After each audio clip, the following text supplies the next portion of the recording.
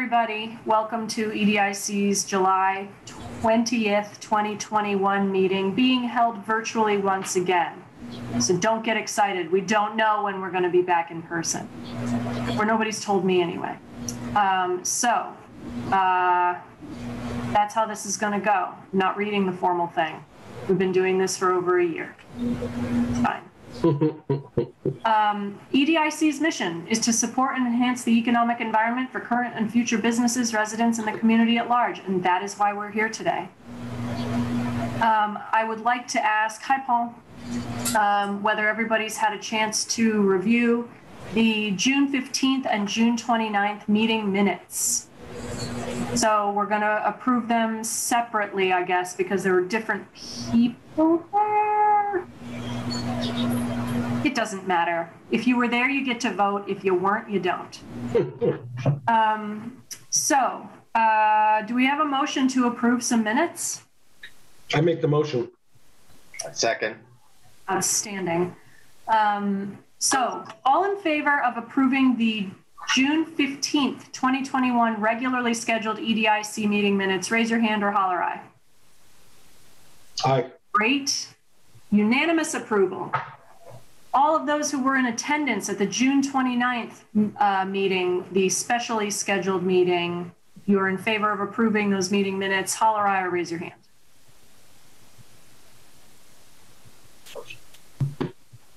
All right. Paul, you weren't there. Is that right? Is that why you didn't vote? It was, Uh, no, I was there. I'm in favor. Yeah, I wondered about that. Okay. I was not, so I didn't vote. Yes, correct. So unanimous approval by those who were in attendance. Thank you very much. Um, We have reserved some time for public speak. There are no members of the public here.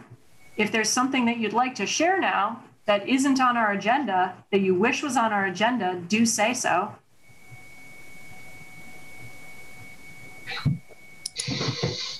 Great.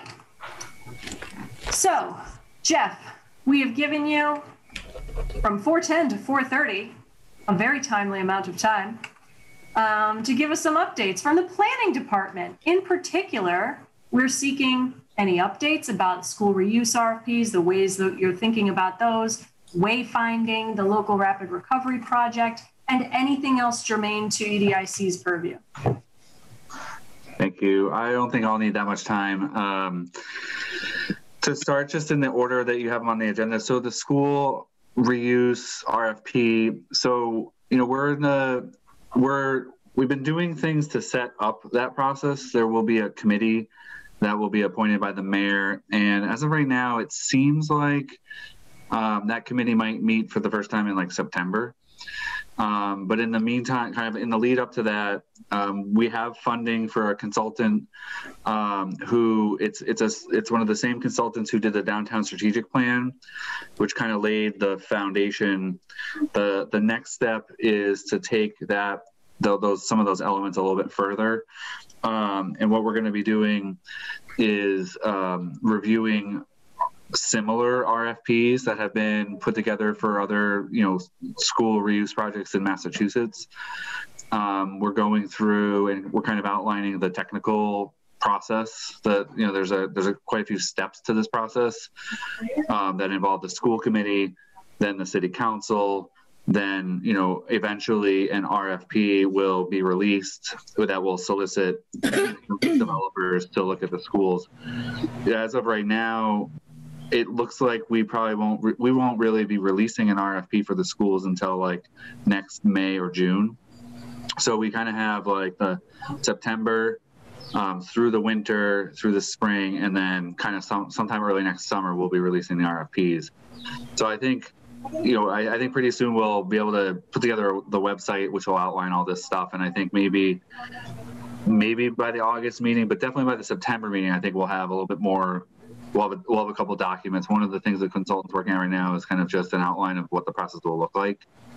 And so as soon as that's kind of ready, the committee will have a first meeting in September, and then we'll start, you know, putting out the information that's available.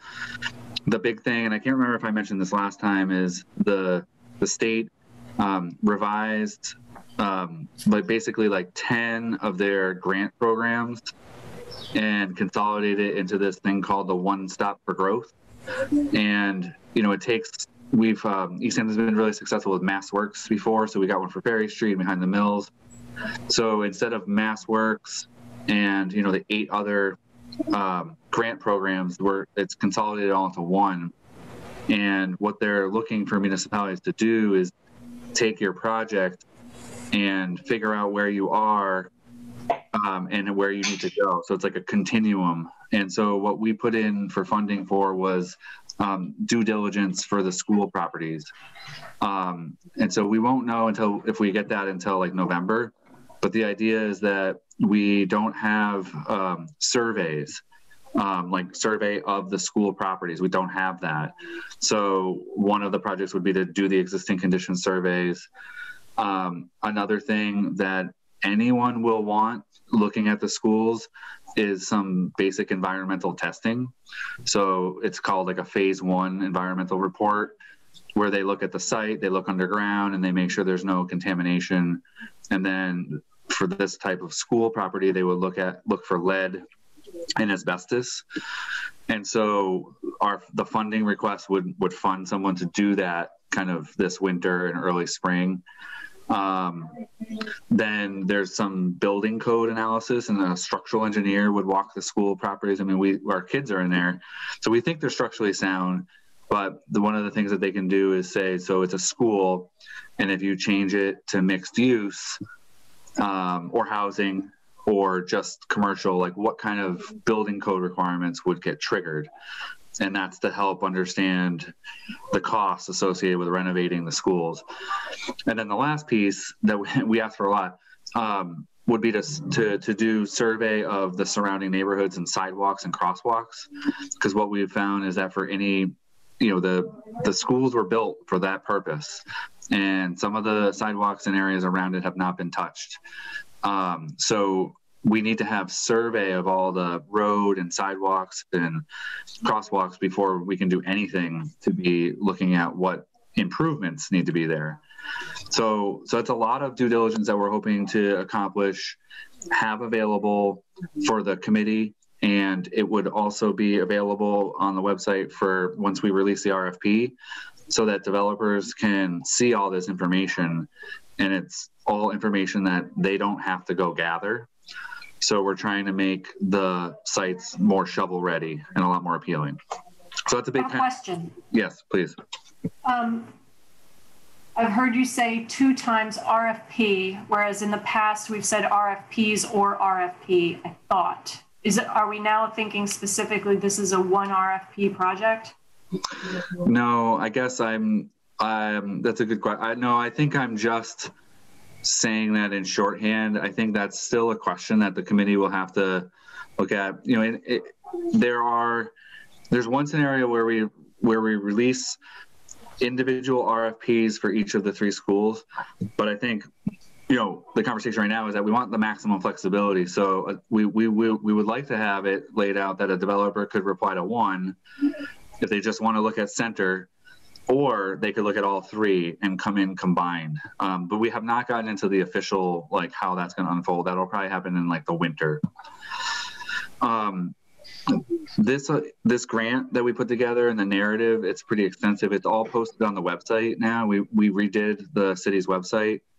So under the planning department, we have current projects, and you can find the one stop for growth and click in and see the whole narrative. And I, I think it would be worth sharing with this group kind of specifically by email. Maybe I said I was going to do that last time. I apologize if I did say that and I didn't. Um, so that's just a big project that's kind of just starting to ramp up now. And it will certainly become, you know, something that we are all talking about um, come probably like the fall. Um, I think maybe wayfinding was on the list next. Um, if Gwen, do you mind? Can I share? I just want to show up one image, um, but we did a, a stakeholder meeting for this project recently. I think Josh was there, kind of on behalf of EDIC, and we had kind of another group. It was about 18 people um, from across Easthampton to, kind of just see this idea. And from here, um, we will finalize a report, and it'll go to City Council, and it'll kind of conclude phase one Um, and then as we roll into the winter and spring, we're hoping to start talking about where we would put these signs and how much they would cost and getting some funding to do that. So um, let me see here. I'll just show one of the images if I can find it.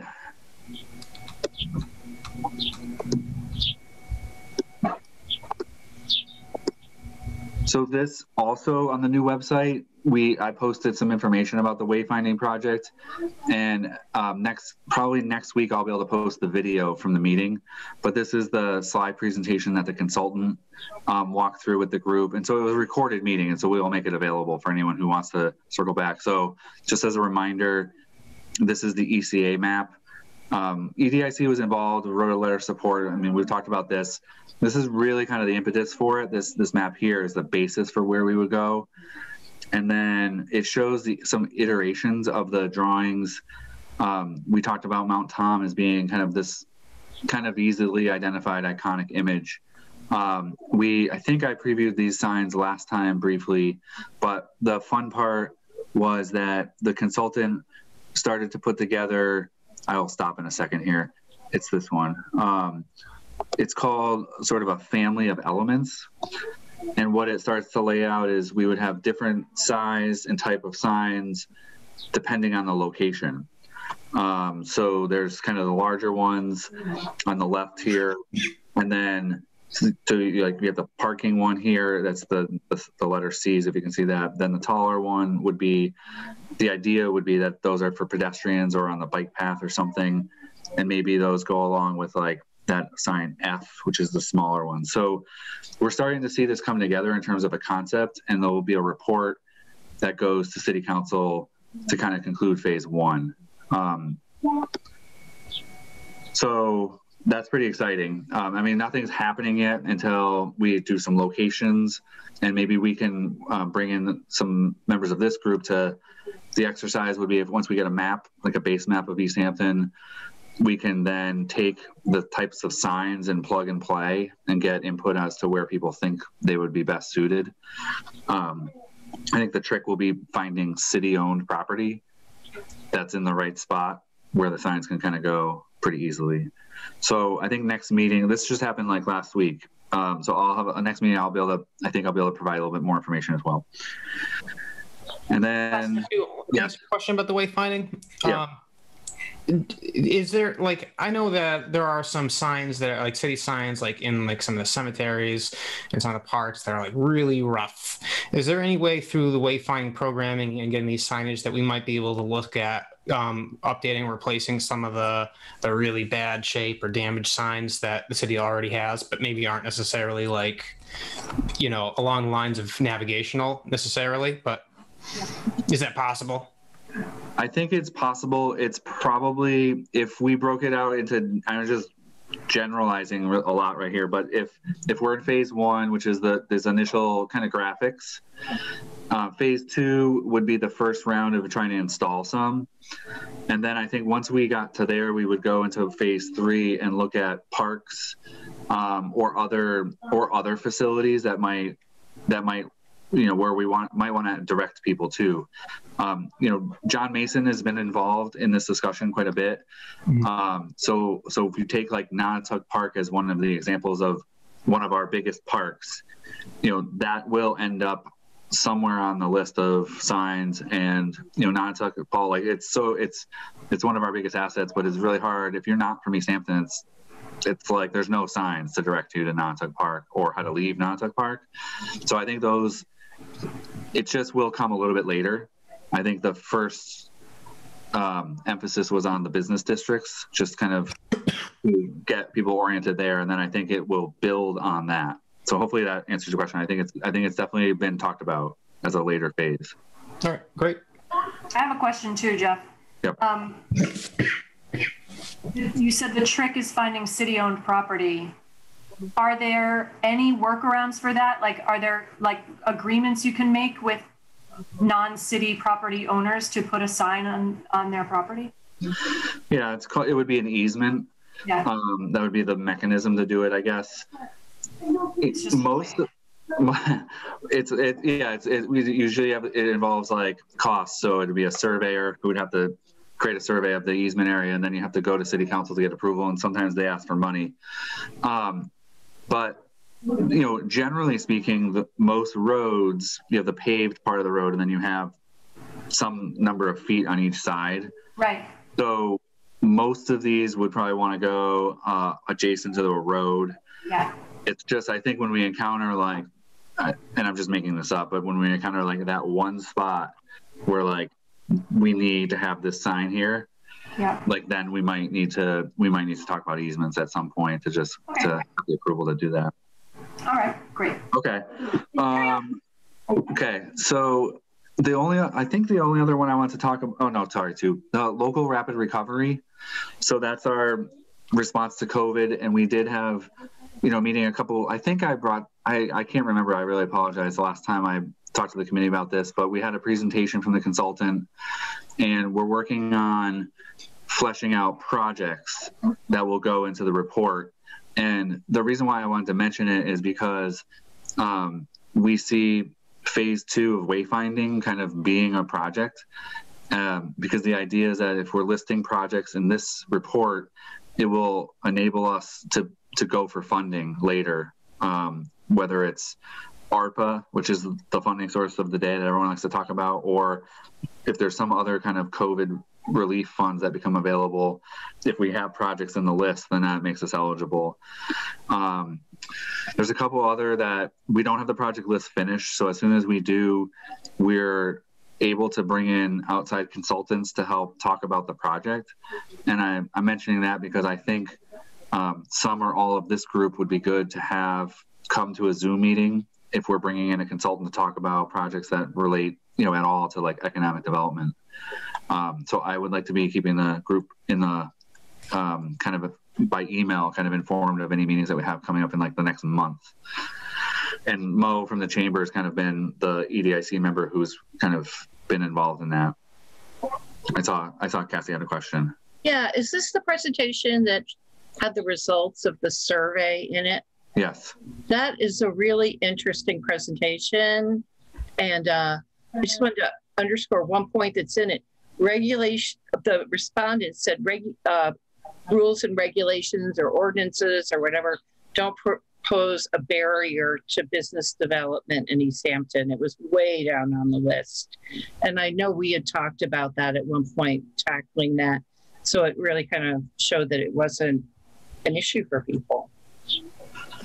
Yeah, I think I, I agree. I mean, I think it could there could still be some issues that we want to fix, but it, it wasn't like the overarching issue that you know business owners responded. We had pretty good response rate, if I remember correctly. We had like 60, 60 responses, 60 or 80, but I think that was pretty high compared to if you compared us to other communities and how many of their businesses responded. So I think we did good. There's a video of that, so I also uploaded that to the new website too. So you know all this stuff is kind of available. I just I, I apologize for not being so in tune to get this committee up to speed all the time, but it is there, and I think it's an evolving project. So I, we got a lot of projects underway right now, so it's it's just been like a flood.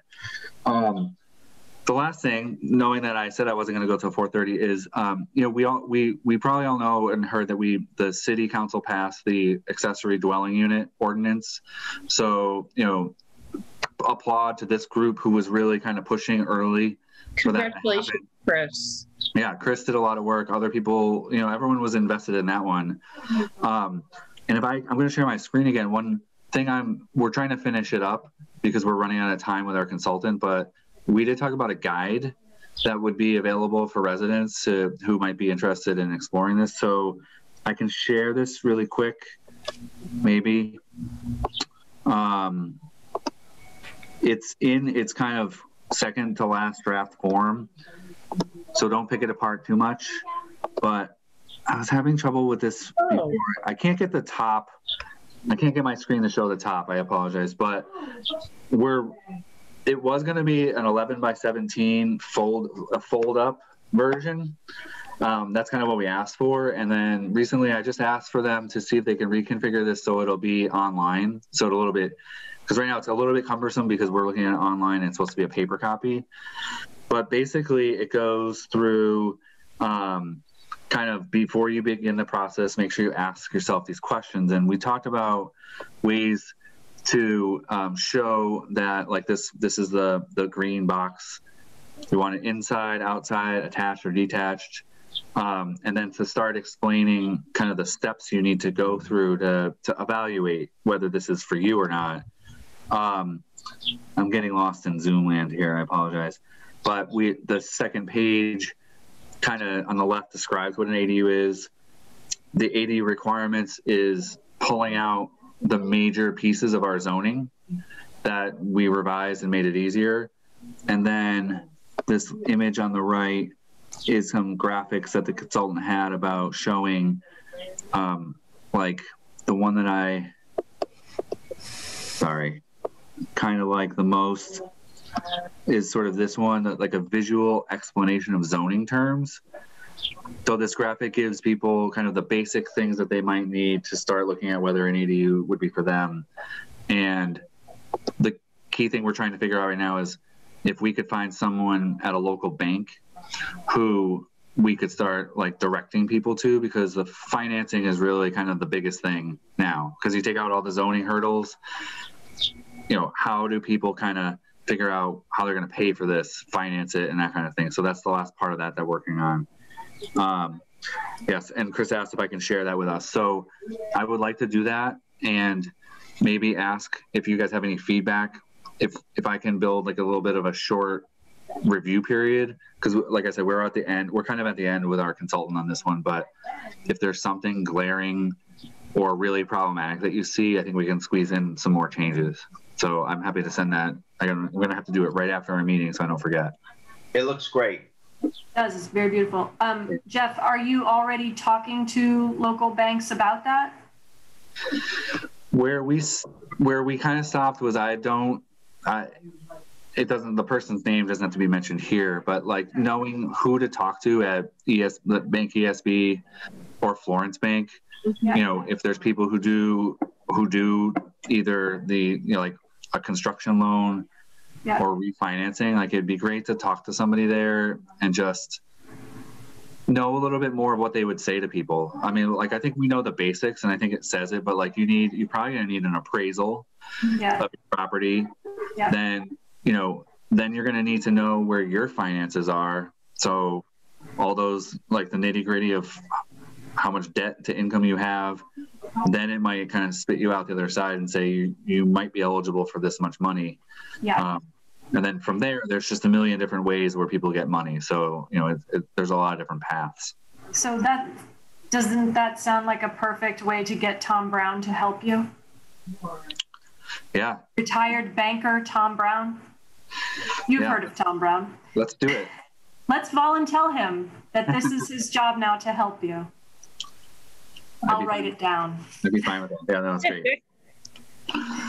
So, you know, that's, I mean, that's just quick. Those are quick updates. Uh, there's so much going on and I, it's just so hard. I, we're, I'm really trying to put some focus on the new website to get more information up there. Um, but you know, this, this group's been committed to kind of all these projects. So those are the ones that I wanted to kind of give an update on. Thank you. Um, any other questions for Jeff or, or, um, applause or confusion?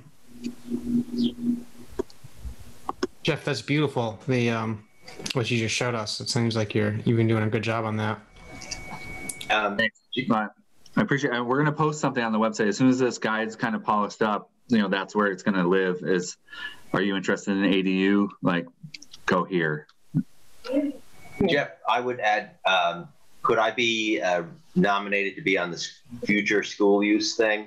Uh, my time is not very great these days, but I've got a lot of familiarity with city buildings and the whole process, and I, I have, you know, I'd like my two cents added. Yeah, I'll double check. The mayor had a list, and I think that letters went out to people. I think Chris got a letter, um, and, And I didn't. Well, from what I recall, the conversation about Chris was that he was on the right. So the downtown plan had a sounding board, kind of the same thing that steering committee, and that Chris was the one who would bridge that gap with with that committee and the EDIC. So I'll double check. Um, I don't I don't know for sure if all the letters went out or if everyone's been asked. So um, Casey, I think that's fine. I'll, I'll I'll put that to the mayor. It's really like things that she's doing, um, and then I'm gonna run run with that after it's after it's all set. Great. I know. In the interim, Casey, just tell Chris to be your lackey and just give him all your opinions. Yeah, there you go. Yeah. Um, okay, what else is happening? What did we decide was going to go on today? Oh boy, you guys. Yeah. We're a minute ahead. Oh. So, we can continue our discussion of social media and downtown transit. I have information from Tom Brown in absentia. Hold on for a second while I find it. Um, he says, I don't have any updates about the use of the COA van for downtown shuttle use. We have a little bump in the road with the COA director leaving on August 6th. So he will most likely follow up directly with the mayor to pursue that option. So that's the update on that. Um, I don't think we had other tasks related to that at this point. That's where we were thinking. Um, although I think we were going to connect, Tom was going to connect with um, the Keystone um, building place. Casey? I think that might have been me. Um, I spoke with um, Kelly Ritchie, who's the head of the licensing board and the manager of that building. I asked specifically about Fridays for Art Walk, and she said that the vehicle is available for rentals with the driver, so everything is part of the package. If uh, I asked her if Friday night was something they'd be interested in, she said she didn't know about the availability, but it would be right up their alley. Um, Aaron is on vacation this month, so she said hold off or or you know process when I had time. I haven't had time, but it sounds like it's feasible to get something together. Jeffrey, the art walk is September 3rd. Yeah, the first Friday. So that does put a little bit of a pinch, but I don't think it's that far of a stretch. I think that um, it's a question of desire. Uh, we're busy and we're short staffed. So everybody else is in the same boat. So the idea of more traffic coming to our places might be daunting, but it might be manageable by then. I don't know. I just, uh, or maybe it's not for the businesses, but it's for the art. So it's still a good thing. Um, so I think that that's still something to have on the conversation. I think I will come with um, what August 17th is the next meeting. Sure, could be. I Let's find out. what you have on there. Yes. But I, I can certainly give us information and do as much as I can that uh, have a presentation available to be approved by September 3rd um, because it might all just fall together. Okay. I have a question about this. I think this is great um, kind of research. Did maybe you don't have to say the the amount, but did did they talk about the amount? What it would be for like a Friday night? No.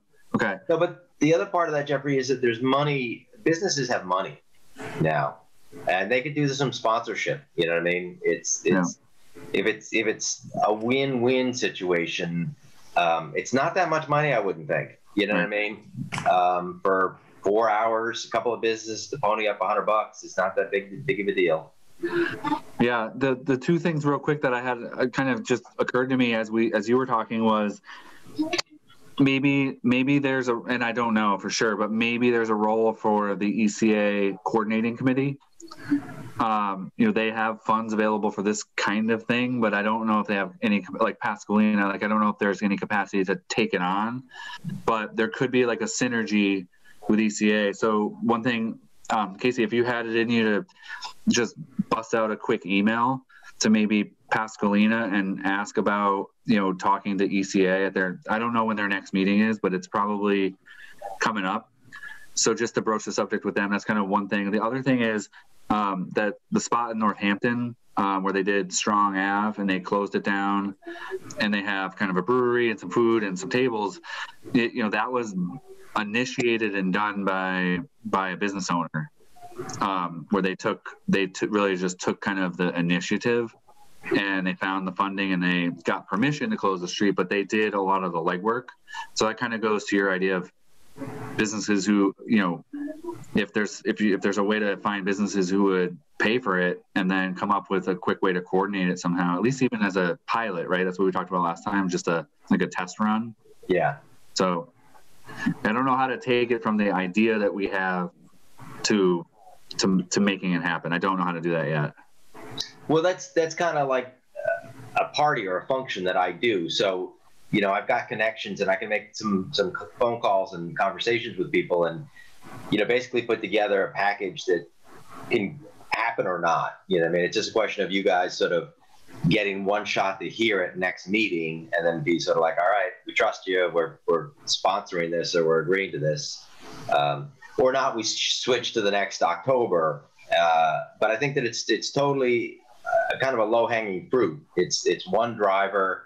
You know, if ECA can step in and help, that'd be great. You know, do with some signage and uh, some some. Are there is there going to be print material for the art walk? Yeah, see, I think that's the that would be the good conversation with ECA is that they they're doing some programming and events, and so I think we talked about this last time that like the the shuttle, the trolley would want to correspond to some events or something where they can come like be we would have to have that coordination of events. Yeah. so that's where i think that's definitely where eca would come in. I don't know that they'll come in financially uh, but knowing the event schedule and i think that my understanding is that the spot lot so the 50 payson lot um, was going to be reactivated in the fall too so those are the kind of things that eca might be helpful with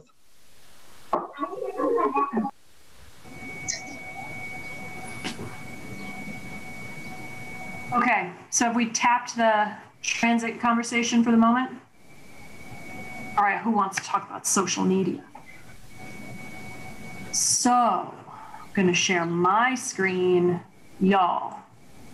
It literally took me a whole month to make this, and then I did it this morning.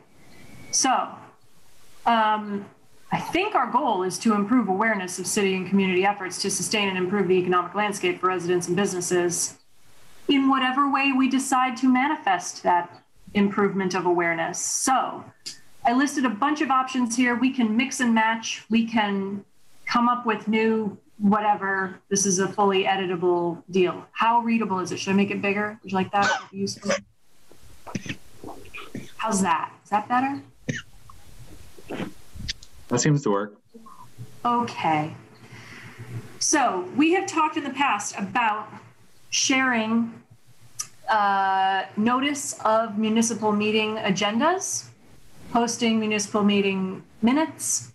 We have talked about encouraging positive public speaking ahead of projects. So instead of the um, everybody react, now it's 18 months after we started talking about this project. Now there's a news story because they're breaking ground. Now you're mad.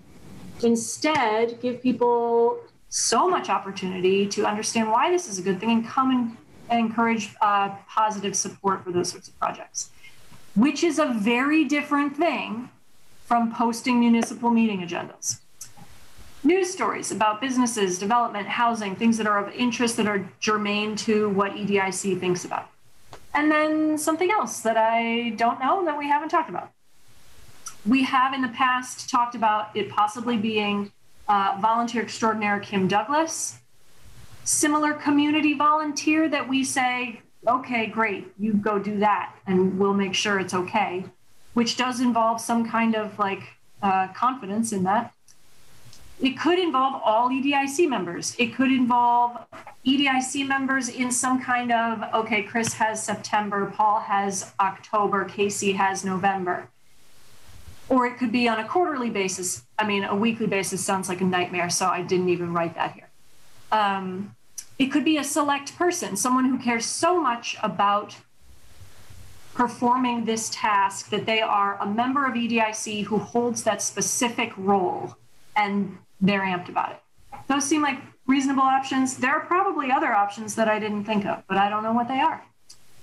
Um, this could be, depending on what we decide we want to share on an as needed basis, it could be weekly, it could just, it could be deciding that you're going to commit to at least weekly and have something to say. Maybe you have a, a selection of things that you could post about, including municipal meetings, including news stories, including, in particular, here's why you should care about going to this city council or whatever other meeting. Um, and then how? I think a lot of these decisions will be driven by how do we actually want to monitor and manage this? Because content management in a social media world is not super straightforward. So, is this just objective, neutral? Here's information. If so, how do you how do you field or respond to comments? Whose responsibility is that? Or is this a comment-free zone where you can comment all you want, but we're not ever going to respond? Hard to think about. We have a um, non-neutral community that participates in social media. So it's something to think about there. Are we advocating for something? So I think that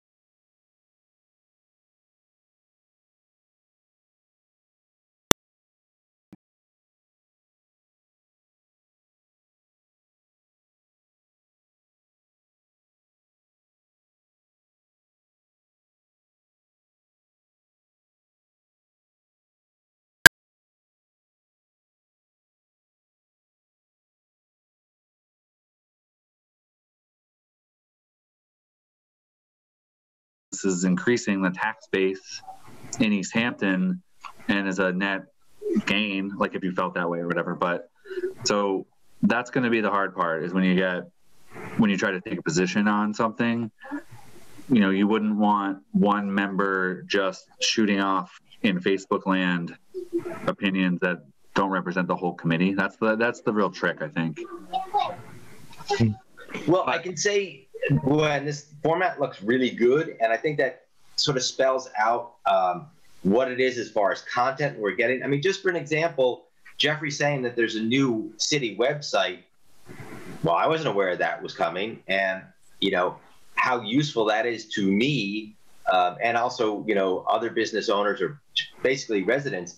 That there'd be a nice way to try to get that out to the public. Another way to get that out to the public that there is uh, information that they should be aware of. So it's just an example of, of um, something that's on the simpler side that we could use as content. Uh, but I think that if we set up, like we talked about before, a Google Doc that we would all have access to and topics could be on there, and then perhaps there could be a voting tally on the subject, whether or not it's something that gets uh, put online and it's a weekly review. You know, it's it's we have the ability to throw the content on there, and then rest of the members get to vote whether or not that's a shareable or a, a topic to be discussed and post posted. So I think that it's a really good start. I think that's a pretty good idea, Casey. But um, I think if we were to do that voting um, thing, we would have to have a subcommittee that's not quorum because then you get into open meeting laws and stuff when you start deliberating on stuff, even though it's just a social media post. Even But- if it's a check a box thing. I think so. Okay. Yeah, but but Yeah. but if we didn't have a quorum in that subcommittee, we could do that. Be fine, I think. So like maybe three of us would. But you would- know, and it would it would really be sort of um, lightweight stuff, and then the stuff that's that's a little heavier hitting would be, you know, met once a month in our meetings, and then on the the Facebook or whatever media, we use, we can always invite the public to the public speak at these meetings. Um, you know what I mean? And and so I think that this is a really good start for a platform that we can work of.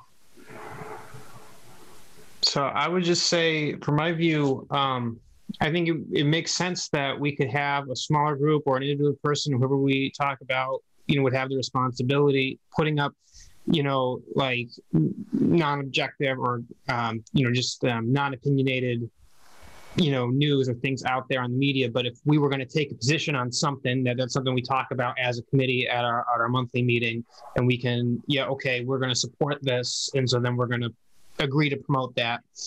Um, and but also I feel that on like like if we had a Facebook page, you know, it, to my my instinct would be to limit commenting from the public on it. I think if people share, you know, something that we post onto another like the group page or whatever, there's going to be a lot of people talking there. Um, I just I would worry about because I know that social media can be very like hostile and can be very negative or toxic sometimes. You know, if, if we have people who are going to an EDIC page because they want information and, and there's all this hostility going back and forth from people of the community on that page, I don't know if that's a if that's what we want. Maybe it's what we want, but my my impulse is always to to shy away from the, the toxic part of Facebook anyway. So, but that's where I'm coming from. I hear you, but if there's no engagement, no one will ever see the posts. It's it's a tricky, it's a, it's a double-edged sword, you know. It's And we- tricky. sorry. We need an administrate, page administrator who could take down comments that are inappropriate. I mean, I think everybody does that, even next door or whatever that junk is, so. So, yes, and content management is a non-zero job. And if we have enough to say and enough engagement, that becomes something that somebody has to monitor all the time. And I definitely a thousand percent will not be that person. So if all of the rest of you are willing to do that job, that's superb, but I will never. and, Um, and that's and that's where it gets tricky as far as the the whole commenting section is that that you know once once you're commit to putting something out there, then you have to monitor that content, and it's never ending. It could be simple and fine and not an issue, but one issue could just be 400 comments. Right. So one of the things is too that uh, my understanding currently is that you can't turn off comments. So if this is a public-facing page where the public can view it, then the public can comment to their heart's content. So, and we know that they do, and that there are certain pages that they that that that our our friends and colleagues and and neighbors follow regularly and and pay attention to. So if that's the kind of engagement that we want, engagement invites commentary, and you have to decide whether you're going to bother engaging with the comments at all or just let that be and let your post exist as it is. I don't, I, I think that, um, I, yeah, I just don't know. There's another. I think that there's something feels risky about it to me to, um, to go to to essentially take a slightly different path from what we would conventionally do, which is decide as a group that we are in favor of X, write a letter in favor of X, send it to a committee, which is not wildly public, but does eventually get made part of the public record because they it, that stuff gets shared at the meeting where they read that we advocated for it. That's different from saying, hey guys, we support this, and then having 35 people go, well, you're stupid, and now we're going to go to the meeting. I just want to add something. I was a member of a benign Emma Willard School class of 75 or whatever Facebook page started as a place to tell who's married, who's having kids, blah, blah, blah. It devolved into a discussion about rape by teachers of students with finger pointing, naming. It was bad. And it doesn't take much for it to, that kind of stuff to happen. I'm just kind of like putting out there, like Gwen put what out her thing is, uh, you know, Mo said these are lots of work to maintain. I'm not sure this is a great investment of resources. That's just my personal opinion. I think it. So my my response would be, it is it's a ton of work, which is why even nonprofits have like a social media content manager who gets paid to do that job. And also, if we just wanted to be a conduit, just saying, hey, here's this thing that is happening, it's happening whether you care about it or not, whether you like it or not, it's a meeting. Mm-hmm. I think that that is a different world than, and it, it, if the only particular people have access to the the posting feature, then I don't know. I don't know enough about it. Chris, you you had a thought, and then Casey. yeah, there's another um, path that I don't know if we discussed, but if you were, if we were to start some sort of EDIC blog, like edic.easthamptonma.org or gov, I can't remember which, and then what you do is you write up your content there, and then you public, you promote it, not money promote, but you have members of EDIC promoting it onto the different pages or the Twitter or all the other things. One, you have a system of, uh, not system, you have a um, social media agnostic platform. That's the blog. You don't have a comment problem on the official blog because not many people are going to comment on the blogs, or you could have no commenting at all. You have a non social media place for people to see what's going on with EDIC and you just have to let go of what people are going to be commenting on things like Facebook or Twitter. Um, and nor do you have any control, to be honest. You, you can't do anything once you release it into the wild. Um, but then you run into the pr- same problem that I mentioned before of engagement. You're not going to have anyone go into that blog on the reg, generally speaking, unless you know we stumble upon like a wild civic success that probably we won't. Um, so yeah, it's tricky. It, but you know, Gwen, you, you mentioned it's a big job, and it is. I, I think it's going to take constant work from some subset of this committee. Just the content alone, let alone all the ancillary things that come with it. Sure. Casey. So, Gwen, you know, going through this conversation, it leads me to thinking of another direction, like you talked about another direction, because the scale of it is so big. But what if we, as a committee, um, we're members of Facebook as a committee, and we don't necessarily post things, but yet we make comments on things we see with an opinion that we form. And that way, conversations can happen on that platform. Say the planning board is excited about the wayfinding um, project that's going on, and the EDIC then responds positively or shit, you know, um, says something that we agree on. Same thing is is if there's, you know, Easthampton Friends and Neighbors has a comment about what to do with the schools, we can then add our opinion to what it is, and then uh, sort of be a voice on social media in the comment world as opposed to someone's in the voice of telling people what the thing i don't know Um, can I chime in? Yeah, go nuts, Josh. Uh, Casey, that's a really good point. Um, the only thing I would worry about is though that we meet, you know, we meet once a month. Um, and for us to have something coming from the E uh, it, it could be tough to do because, you know, we would all have to trust what each other of us says and how we say it and things like that. Right. Um, I was going to go back a little bit to what Chris was saying. Um, the idea of a blog is really cool because it is it is uh, proactive instead of interactive. We we as an entity are creating something and putting it out there. Um, sure, people can comment in other places about it if they want, but we're not inviting a conversation. Which is like if we had a Facebook page, I think that would invite conversation and it would just be you know as cassie was talking about about emma willard just anyone can put up put anything on there that they want Crap. and it's very hard to control i, I like the idea of, of a blog being proactive and we're just putting this out there you know like on a Yeah. web page or something But to, just to just to push back a little bit on that, Josh, I think that if we were making a proactive blog and we do want people to see it, they are going to go where they want with it. yeah and, I, and you're right I, there's nothing we can do about that i guess Yeah. I mean, you know, people can talk about us now. I mean, a couple of years ago, we had some reporter from the um, from the paper in Springfield who was all hot on as giving us bad press about. I'm not even sure I remember what it was. I think it was about the uh, zoning thing about 10,000 square feet.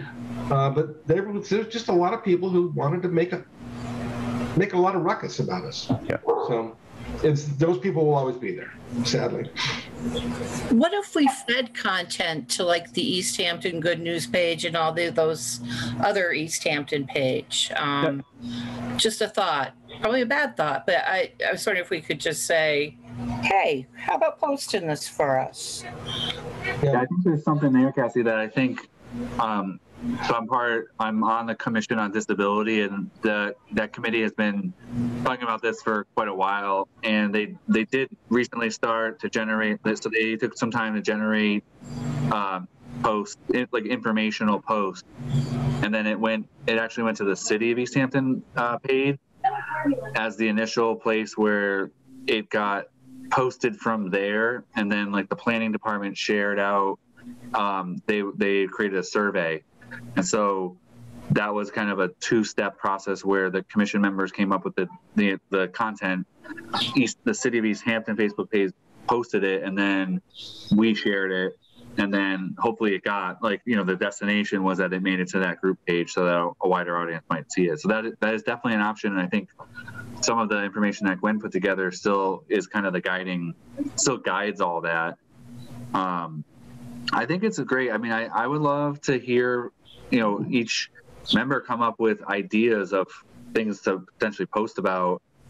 Um, you know, and it might be a little ways out, it might be too far, but um, something on my mind a little bit these days is is the Union Street uh, reconstruction project. So you know that's gonna start in like it'll probably start in early spring and you know it's to be kind of a terrible mess for two years and there might be there might be a really good opportunity to like give updates you know I'll, I'll be trying to do it too but you know representing that businesses are open and like you know talking to people and, and putting out a post that like small oven bakery, you know, made a cake, you know, for Union Street sewer. not, a, not a good equation. Union Street uh, sidewalks, the sidewalk cake. You know, uh, there might be like that's a little bit ways out, but there might be some time in the, in, in the interim to practice a couple posts and use the City of Easthampton's page as the launching point. So yeah, it's just somewhere to think about.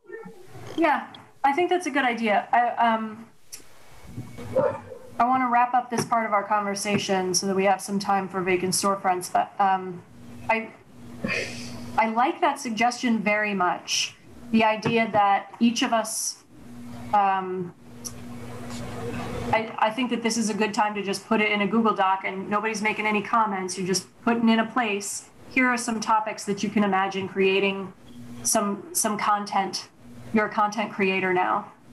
Um, what are the ideas that you have and then let's go from there and see if there are ways that we can um, finagle our way into into that that world in some creative way is that is that a useful approach for the moment come to august 17th with those ideas having been put in a doc okay super duper all right we're done with that close close close nope save save save then close close close and then what are we doing? Who are you people? What are we doing? Okay. Continued discussion of vacant storefront ordinance language slash process. Cassie, Chris, Paul, basically everybody. We're all enthusiastic. So, Hasabel, I know that's not your real name, but I like it. You made revised regulation language available to us this afternoon. Indeed, I did. Would you like to share your screen and talk us through what you got there? I'm going to make you a co-host because otherwise you won't be able to. Okay. Please hold. Wait a minute. Back. Back. Am I projecting now? Not yet. Try again. Okay.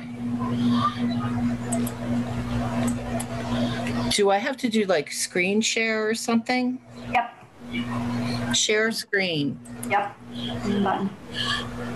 You would think I didn't live through COVID. You must be new to Earth. yeah, really.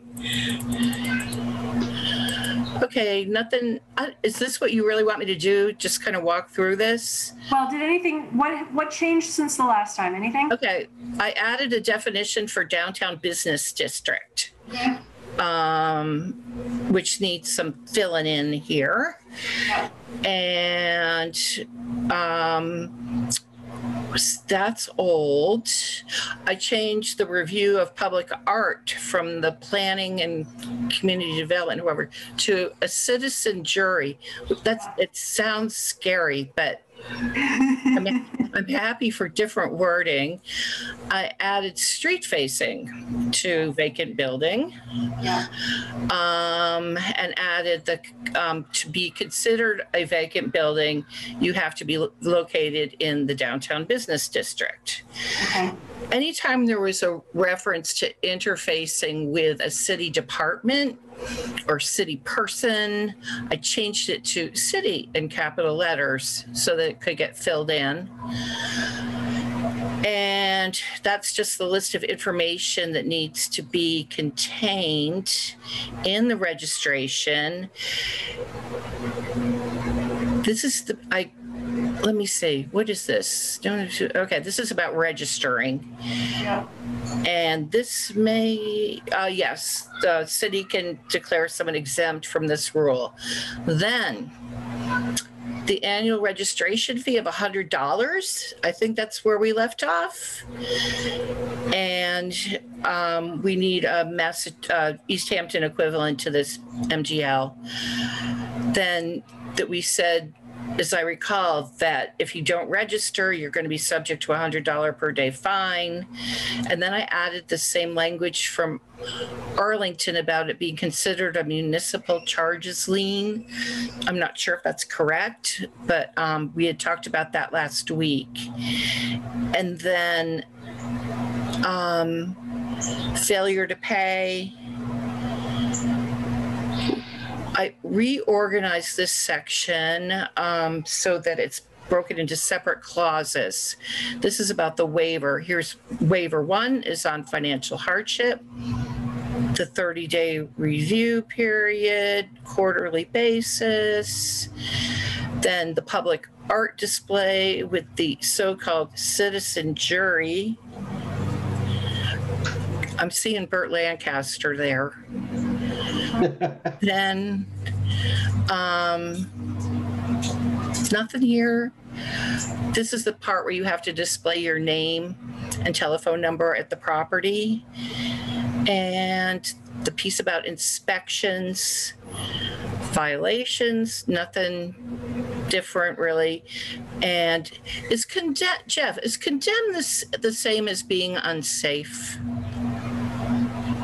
I don't think so. Is it duplicative?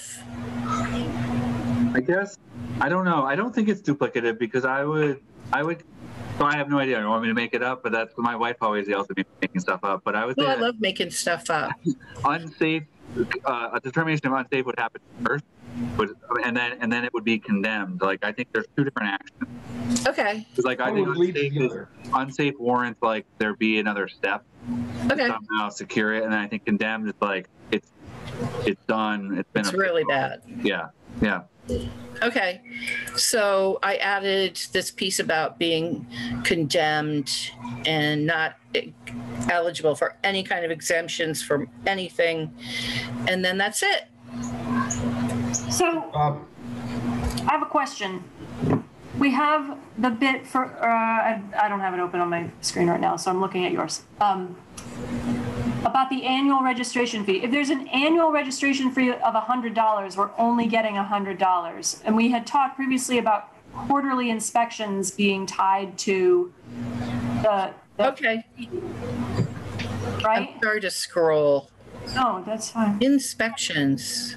So I'll clean it up, but you need to pay $100 at every inspection. Yeah. If we could just write it in our, in our terms. Hundred dollars every Understand that. quarter, please, per building inspection. Um, so that the, $100 on, say, say it's for the year, $100 on January 1st just to get registered. And then on April 1st, you would pay $100 for your inspection. I think it was just a hundred bucks quarterly. Was that what we spoke about? I'm not sure now.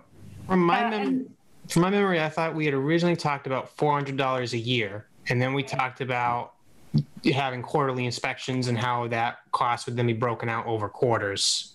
right, so it's hundred dollars a quarter because they're tied specifically to building inspections. Got it. So, and I think the, um, I know that we discussed this, but it, it's not showing up the way I remember discussing it, is, uh, Arlington's original language said you have seven days, once your property is vacant, to, to register it as vacant. We've changed that in this to ninety. Well, Correct. by then, I mean, I feel like seven days is a reasonable amount of time for somebody to go, this is vacant, I don't have a tenant coming in, I- it's time to get it registered, rather than I have nine, I, I don't know, I can't, is that what we decided, that we wanted to give people three months um, la- lag time to get it together? It's And after that, we'd register it? It's it's one quarter. Why why do they need to, to go through another process of filing some paperwork when they may have a tenant that's available in a month and then that tenant drags their feet for another month and then they move in. So they moved in, you know, two months later, but in the meantime the landlord had to go through the scramble of buying this thing. It's, it's sort of like I think it makes a little Okay. grace period that you know we only really want to do this because this is work this is work Yeah, for landlords for for the city um, for problematic places you know so Yeah. 90 day grace period is is you know as a someone who owns commercial real estate who owns apartment buildings is is workable okay, great, Yeah. that's fine with me. we don't want to Um, alienate anyone. You said, Josh? I would say we don't want to alienate anyone. Well, we're going to, so let's So get let's- used the idea right Well, let's now. only alienate the problem people, like what she Okay. said, the dirt on my shoes person. Okay. So if you're, if you're vacant on January 1st, that's the day your tenant leaves, you have to register by March 1st, right? No, March 31st, April 1st, you have Oh, 90 yeah. days. Yeah. And then you, do you pay $100 then? Yes, I think so. Yeah. Then four plus three is seven one, inspection, pay a $100. Okay. I So, can- so I think w- one of our, one of our things that. though is that we, that hundred dollars to register, I think has to be tied to a building inspection. Doesn't it? Because we can't have it just, here's a- that, because otherwise it's basically a tax. Right, it has to be tied to a service, but, but I think, um, I don't know whether or not the service actually has to happen. If they register on April, fir- uh, March, on four one, and then get a tenant and don't have the inspection, I think that that's legit. I, I think I think the idea of having an inspection from the beginning is a good idea on the next level because when someone goes to the city and says, "I'm looking for permitting for a hair salon," um, but the, if the inspector was in there already and said, "like, no, that doesn't," I can tell already that doesn't have the parts to, to handle that. So I think that it's a, it's a good idea to bring the inspector first. So I think, yeah, let's, let's keep that feature in there so that there's an inspection tied to your check for a hundred dollars. Now, Um, businesses now are they're not paying for inspections now, I believe. So this Correct. would only be if you have no tenant, then you pay for the inspection. Yeah. Well, they're paying, they're paying for an inspection when they need an inspection, like if they do something. Otherwise, they're not getting inspected. What if, what if, say, somebody was had a, a vacant space for 90 days, went through the, uh, didn't go through the inspection, brought a tenant in there, the tenant's in there, the building inspector comes in at some point and says, wow, this is not a legal means of egress. Um, this business has to figure this out or cannot let the public in, in their space. And then this tenant went through all this work. It's sort of like preempting, uh, you know, code compliancy with the for the next tenant. I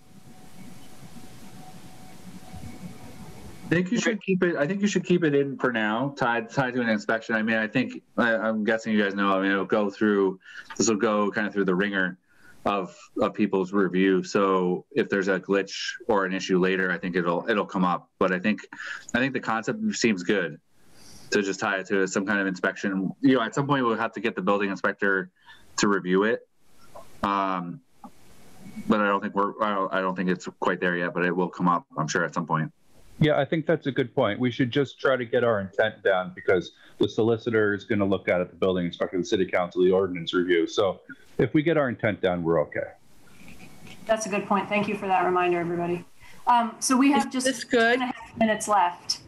So um, before we before we go, I want to say I did get in touch with Salem Derby, who's on the ordinance committee, to ask if we could get on one of their next two summer meetings, which are next Tuesday or Wednesday, and August 10th. And he said, I have to talk to the group. I'm sure we can do that, but we then would be subject to open meeting law, yada, yada. So uh, I have not heard back um, any confirmation of either of those dates, but I will let you know when I do. I, I will follow up with him. Uh, because we were going to talk with them about do we what do we do with the idea of a letter how do we how do we engage with the community before after what's the timing there what do you recommend that sort of thing jeff Well, that's all good. That's good stuff to be. That's a good conversation to be having with Salem. I think that's good. Um, I just had a minor, I guess, uh, comment. Maybe it's a request, but I think with the public art and the citizen jury, I think that's I think that's fine. But I think there is another option that we have a public art um, committee. So you know, it's a it's a committee that's you know charged with um, looking at establishing and kind of maintaining public art in the city, and that might be a built-in review opportunity that we are like we could. It kind of just would fall in line with the city, so it would be like the City of Easthampton Public Art Committee could be the group who would review that. Um, just an idea. Uh, it's just the it would send it to an existing committee. Can I follow up on that, uh, Jeff? We talked about throwing that ECA's way, uh, but we didn't talk about the Public Arts Committee. We, I just simply said that if another ask for that committee, which already is program uh, laden, to give them more responsibility is, was a big ask. But the subcommittee actually sounds brilliant. Yeah. And you know it's different. I it, I am really cognizant that there, we are talking about apples and oranges, but the public art committee did establish a public art policy, and so it's more. It was more geared towards oh. like donations of big pieces because there there's been quite a few requests for people to I want like I want to donate this piece of art and I just all I want is you to put it up somewhere. And the the town the city decided that we kind of needed a policy and this is different than that but they're kind of used to looking at something and giving it some kind of like the policy has a, an evaluation criteria. Just to give you uh, the, this group a sense that there has been some standards uh, created for looking at public art and it's not necessarily a perfect fit but maybe it's a good placeholder for now. That's great. Okay. All right. So we've made some progress there. I will follow up with Salem so that we can get on an agenda. Um, what other tasks have come out of this, Cassie? I need to update again and then bring it back for a final blessing or send it out in advance for a final, for a medium final blessing or, Yeah. Okay. Anything else? no, I'm asking, is that it? Yeah, yeah, I think that's right. Okay. Um, I gotta all right. work Anything? on, that- on the letter, you know, based on these conversations, what how we're really going to phrase it. But Okay. it's not a huge thing. There was my email that got shared. I spoke with Lindsay, and the building inspector does not invoice the city or anything like that for inspections. It's just part of the salary job. And um, I spoke with Karen, who was designing the new website. I think she was in the, the heat of it at the moment, but um, she said, yes, we can get a page. She wasn't sure if we could embed a frame of the Google Doc, but at the very least, we can put a link to the Google Doc if that's how we if that's how we decide to go with it. So yeah, we can get communication with the website. So all Okay. good. Okay. All right. And I think that that'll, that'll be an ongoing topic as well. How does this actually get managed and monitored, that sort of thing. So that's great. Okay, everybody. I think it's time to wrap this up. Would anyone like to move that we wrap it up? I make an agenda that we uh, wrap this up. A second. Standing, all in favor of leaving for a different part of your evening? Holler aye. Hi. Aye. Hooray! All right. Thanks, everybody. You're great. Have a lovely night. Take care. Great weekend, everyone. Bye.